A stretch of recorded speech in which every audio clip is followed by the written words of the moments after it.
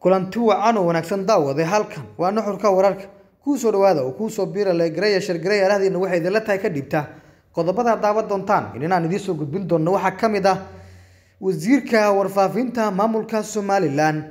salebaan cali kore iyo xubno uu ka mid yahay kaahin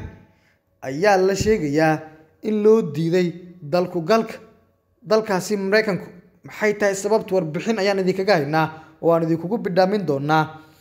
kooxda madaxweyne farmaajona waxay qallaaso doorasho ka wadaan magaalooyinka garbahaari iyo beledweyne maxay tahay sababtu? Xogo iyo warbixin ayaan ku bidhaamin doonaa oo aan idinkugu soo gudbin doonaa soomaaliya iyo maraykankana waxay ka wada hadleen la dagaalanka ururka al-shabaab. Qodobada iyo kuwo kale ayaa daawan doontaan. Soo dhawaada mar kale haddii aad ku cusub tahay fadlan kuu soo biiroo ka mid noqo daawadayaasha iyo saaxiibada ku xidhan legrey shirgrey aaraadaadii waxay kula tahay ina ka dhiiba daawade aynu ku bilowno. Dowladda soomaaliya iyo maraykanka ayaa ka wada hadlay la dagaalanka ururka al-shabaab. Wasiirka awqaafta iyo arrimaha diinta xukuumadda soomaaliya sheekh cumar cali roble ayaa la kulmay safiirka cusub ee dowladda maraykanka u qaabilsan soomaaliya ambasador leri anre ugu horeyn wasiirka ayaa safiirka ugu hambaliyeeyey shaqadiisa cusub waxaana uga mahadceliyey taageerada dowladda maraykanka ee hanaanka dib u dhiska geedi socodka dowladnimada soomaaliya. Wasiirka ayaa si gaar ah u dul istaagay kaalinta dowladda maraykanka ee la dagaalanka waxa loogu yeero argagixisada isagoo adkeeyey in la dagaalanka al-shabaab uu yahay dagaal caalami ah oo u baahan in la iska kaashado. Dhanka kale ambasador leri ayaa wasiirka ku ammaanay fahamkiisa sare ee la xiriira kooxaha argagixisada loogu yeero sida loo soo afjari karo waxaana uu adkeeyey in dowladda maraykanka ay sare u qaadi doonto taageeradeeda ku aadan dowlad dhiska iyo la dagaalanka ururkaasi al-shabaab. Nuxurka wararka ayaa daawanaysaan daawadayaal. Salebaan cali koore ayaa loo diiday dalkugalka maraykanka koore wuxuu ka mid yahay siyaasiyiinta barakicinta qasabka aheyd ka fulisay laascaanood sannadkii hore. Wasiirka warfaafinta ee maamulkaasi somalilan salebaan yuusuf cali koore ayay safaaradda maraykanka ee fadhigeedu yahay muqdisho u diiday dalkugal visa si uu uga mid noqdo wafdiga madaxweyne muuse biixi cabdi oo bartamaha bishan booqasho ku tegi doona dalkaasi maraykanka wasiirka arrimaha gudaha ee maamulkaasi somalilan maxamed kaahin ayaa sidoo kale loo diiday inuu raaco madaxweyne muuse biixi cabdi koore iyo kaahin waxay si gaara uga eedeysan yihiin barakicintii qasabka aheyd oo dad soomaaliyeed loogu geystay magaalada laascaanood kaahin wuxuu ku eedeysan yahay fududeynta howlgalkii barakicintii qasabka aheyd oo saameysay kun iyo lix boqol oo qof jaaliyadda koonfur galbeed ee waqooyiga maraykanka ayaa dacwad ka gudbiyey madaxda ugu sareysa ee maamulka somalilan waxay ku eedeeyeen inay ku xadgudbeen xaqa muwaadinnimo si ay uga noolaadaan meel kasta oo ka mid ah soomaaliya. Madaxweyne muuse biixi cabdi ayaa difaacay go'aanka barakicinta qasabka aheyd isagoo weerar ku qaaday xafiiska qaramada midoobey u qaabilsan isu duwidda arrimaha aadamiga ah oja ma cadda in safaaradda maraykanku dib u eegi doonto go'aanka labada wasiir. Dalkugalka loogu diiday dhowaan. Waxay dowladda maraykanku soo saartay siyaasad ay socdaalka kaga xanibayso siyaasiyiin ay ku tilmaamtay inay yihiin kuwa xagal daacinaya geedi socodka dimuquraadiyiinta soomaaliya. Nuxurka wararka ayaa daawanaysaan daawadayaal saaxiibayaal kooxda madaxweyne farmaajo ayaa qallaaso doorasho ka wada magaalooyinka garbaharey iyo beledweyne. Maamulka geedo ee hay'adda niza oo guddigii xukuumadda ka mamnuucay inay tagaan garbaharey kooxda uu hogaaminayo madaxweynaha muddoxileedkiisii uu dhammaaday ee maxamed cabdilaahi maxamed farmaajo iyo la taliyihiisa amniga qaranka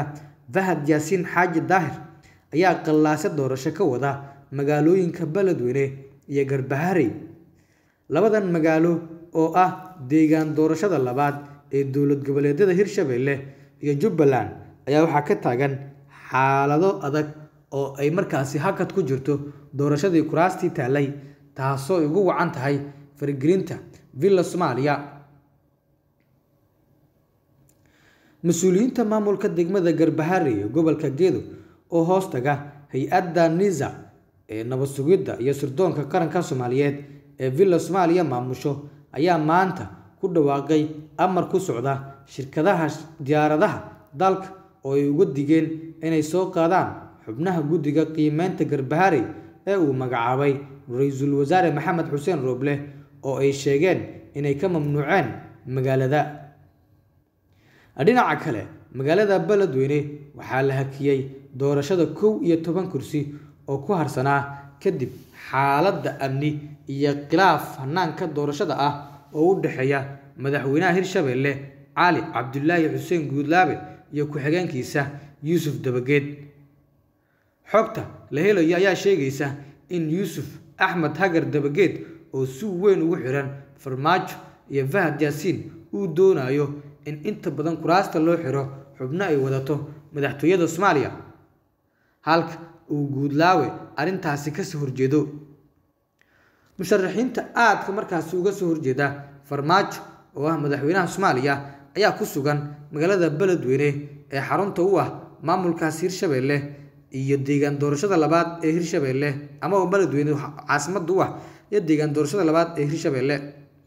iyadoo qaarkood ay hubeysan yihiin waxaana laga cabsi qabaa in xaalad amni ay ka dhalato haddii la boobo kuraasta sida adag markaasi la isugu hayo.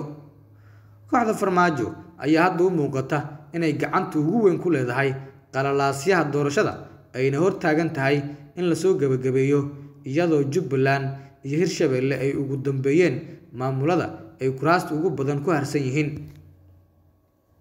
Si kasta oo xaaladda noqotoba arrimaha ku gadaaman doorashooyinka ayaa ah ubucda ugu weyn ee markan laisu hayo xogaha aanu helayno ayaa sheegaya in markaasi yuusuf axmed hagar dabageed uu yahay mid telefono iyo wicitaano joogto ah ka helaya. Sida xogaha aanu helayno ay sheegayaan villa soomaaliya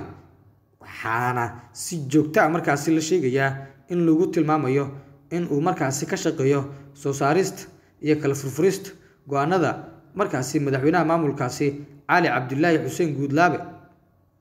Waxaa si weyn loo tilmaamayaa in la soo saaro xubno muxaafid ah lana reebo xubno markaasi mucaaridka ah in markaasi loo sheegayo in uu ka shaqeeyo.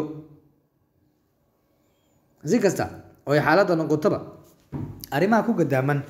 beledweyne waxaa si weyn markaasi laisugu hayaa kuraasta wasiirkii hore amniga cabdirasaaq wasiirkii hore ee waxbarashada markaasi goodax barre wasiirkii waa agaasimihii hore nisa sambalolshe iyo xubno kale oo dhowr ah. Waxaana markaasi la doonayaa in la soo saaro xubno ay ka mid yihiin daahir amiin jesow cumar faaruuq iyo xubno kale. Ubuucda ugu weyn ee villa soomaaliya dul taagan tahay dhanka beledweyne ayaa ah reebista xildhibaanadii grand tahliil xabad ku garaacatay ee aamina waxaa si weyn baraha bulshada kaga dhacay banaanbax sooshiyaaleed ama markaasi baraha bulshada ah kaasi oo loogaga dalbanaya cali guudlaabe dagaalka haweeneydaasi inuu qiimeeyo oo kursigeed uu ka dhigo tartan furan ama iyada loo dhaafo. Cumar faaruuq oo nasaj xogayaha markaasi ka ahba ayaa si weyn loo doonayaa in kursigaas uu ku fadhiisto waxaana la sheegaya in arrimahaasi uu riixayo fahad yaasiin xaaji daahir. Ama agaasimihii hore hay'adda nisa ee nabad sugidda soomaaliya. Dhanka garbahari madaxweynaha soomaaliya ayaa markaasi ku dhegan kuraasta garbahari axmed maxamed islaam madoobe ayaa diidan garbahari oo nise gacanta ugu jirta in markaasi doorasho lagu qabto. Waa uu ka diiday ra'iisul wasaaraha. Guddidii ra'iisul wasaaruhu uu marka la hadlayna waxa uu sheegay in iyadoo markaasi nise laga soo saarin halkaasi aysan doorasho ka dhici karaynin. Way soo hadleen garbahari waxaana ay markaasi sheegeen in guddi uu ra'iisul wasaare maxamed xuseen rooble u magacaabay uusan soo caga dhigi karin oo uu imaan karin magaaladaasi garbaharey ee xarunta u ah gobolkaasi gedo ahna deegaan doorashada labaad ee markaasi jubbaland.